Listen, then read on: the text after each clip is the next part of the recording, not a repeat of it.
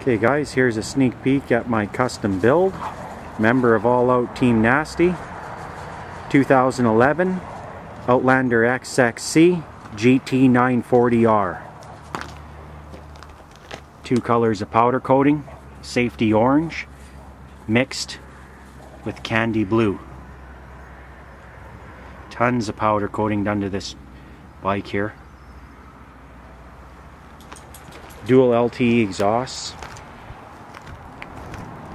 STI bead locks on my laws.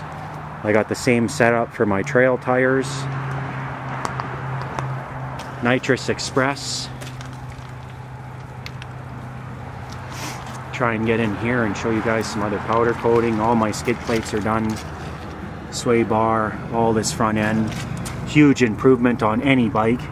Stage 5 Elka suspension. Rod relocate's done.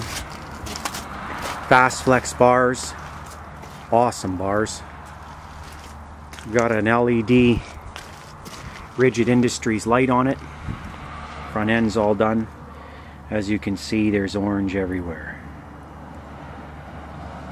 Our little added touch here. Custom Fairlead. There's been a ton of motor work done to this bike.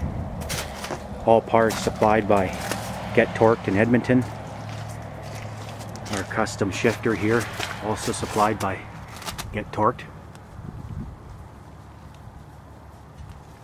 Okay.